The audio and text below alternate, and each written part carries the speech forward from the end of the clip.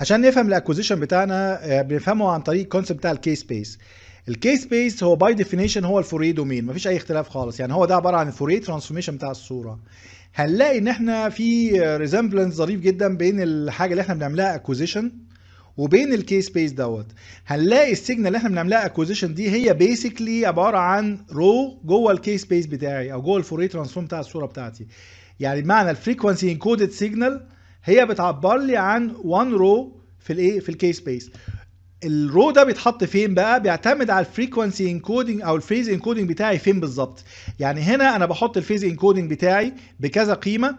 كل واحدة من القيم دي ممكن أحطها بالشكل ده كده على أساس يبين إن في عندي كذا قيمة actually فلما باخدها negative G مثلا يبقى معناه إن أنا باخد ال column أو باخد ال row اللي في الآخر خالص اللي تحت خالص ده. لما بحطها positive maximum باخد ال row اللي فوق خالص دوت. بين بقى النقطة دي وبين النقطة دي؟ أنا باخد كل الخطوط اللي موجودة عندي في ال k-space أو في ال frequency domain بتاع الصورة بتاعتي. once إن أنا عملت collection لل k-space كله أقدر أعمل له inverse Fourier transformation عشان أحصل على الصورة.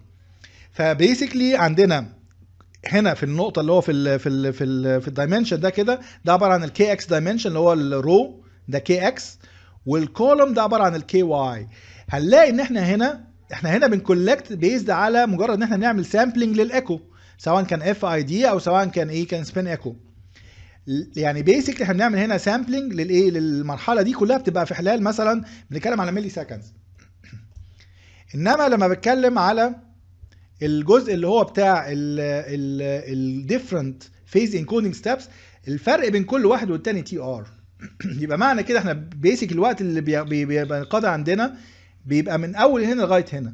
يعني بمعنى إن أنا بتكلم على ال dimension من أول هنا لغاية هنا دوت okay? يعني ال k-space بتاعي ال collection time بتاعه بيعتمد على عدد ال rows كام ما بيعتمدش على عدد ال columns كام. يعني في ال dimension ده كده أقدر أعمل sampling زي ما أنا عاوز. ال dimension التاني ال sampling بتاعي فيه مكلف. يعني كل sample فيه أو كل row فيه بيكلفني TR وال TR زي ما شفنا من شوية ممكن يبقى حاجات مثلا زي 1 second يعني معنى كده لو أنا زودت مثلا 100 100 row مثلا يبقى معنى كده زودت 100 second يعني بتكلم على almost دقيقتين زيادة. فطبعا ده بيبقى مكلف بالنسبة لي ولازم آخد الكلام ده في اعتباري وأنا ب design ال sequence بتاعي أو وأنا بحدد أنا هعمل scanning لل patient بتاعي ده إزاي.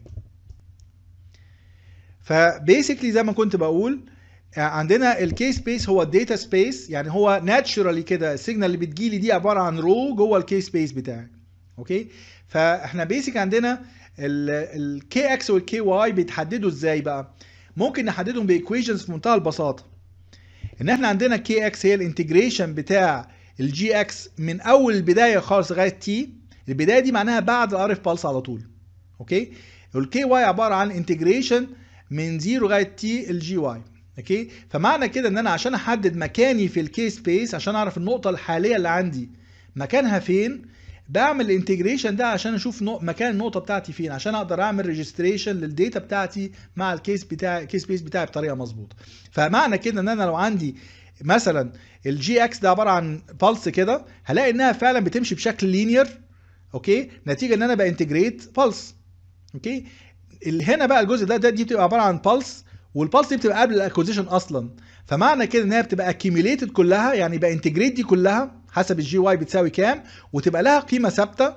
لما باجي بعد كده ب collect بقى في ال frequency encoding بتبقى phase superimposed على الايه superimposed على ال على ال signal بتاعتي. وطبعا هنا كل ما أحب أغير ال KY بغير ال gradient بتاعي بحيث في الآخر يبقى ال integration بتاعي ده بيختلف. ال K-space نفسه بقى لو إحنا بصينا عليه هنلاقي عندنا هنا زي أي frequency frequency يعني space في الدنيا هيبقى عندي هنا step delta KX هي ال resolution بتاعتي في K-space وفي عندي bandwidth بقى اللي هو KX maximum بتاعي أو ال bandwidth بتاعي في ال X بتاعي بيساوي كام. ده لما بروح لل image space okay الكلام ده بي بي بيبقى في الآخر صورة والصورة دي لها step delta X أو resolution delta X وفي عندي بقى المسافة بتاعت الصورة نفسها أو ال size بتاع الصورة نفسه بسميه ال field of view X okay؟ نفس الكلام بالنسبة لل Y delta KY وبرده bandwidth Y برده مقابل ال delta Y وال field of view Y. okay؟ بيبقى في علاقات مشهورة جدا جاية لنا من ال Fourier transformation بقى إن أنا في عندي حاجات بتتقلب في ال frequency domain يعني لما بتكلم على ال bandwidth بتاعي كل ما الباند ويدث بتاعي كبر كل ما ال signal بتاعتي إيه؟ كل ما ال signal بتاعتي اتضغطت. يعني لما بعمل compression لل signal بتاعتي في في في domain بتروح الناحية الثانية تبقى expanded والعكس صحيح. فلاقي عندي العلاقات الأساسية بتاعت ال frequency أو بتاعت ال Fourier domain إن عندي ال delta KX by definition بتساوي 1 على field of view X. okay؟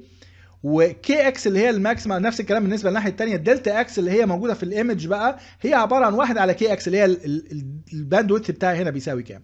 okay؟ فالعلاقات دي علاقات أساسية جدا وبتربط لي العلاقة بين ال K-space وبين ال image. أنا بالنسبة لي وأنا بعمل acquisition أو الطبيب هو بيعمل acquisition أو ال technician هو بيعمل acquisition ما بنبقاش بنفكر في ال K-space إحنا بنفكر في الصورة. فانا دلوقتي بفكر في الصورة إن ال field of view بتاعي هيبقى مثلا 20 سم في 20 سم بفكر في إن أنا عايز ال resolution بتاعتي تبقى مثلا حاجة معينة يعني مثلا الصورة تبقى 128 في 128 أو 256 في 256 وده على أساس كده بيتحدد منها على طول فورا ال delta X بتاعي بيساوي كام لأن هي بتساوي ال field of view على عدد النقط okay؟ فبالتالي إحنا عايزين ن translate الكلام ده بقى لإيه؟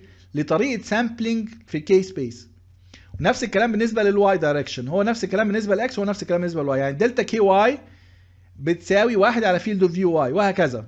okay؟ فاحنا دلوقتي عاوزين بقى نستعمل الحاجات دي عشان في الآخر ن optimize ال acquisition بتاعنا يبقى عامل إزاي.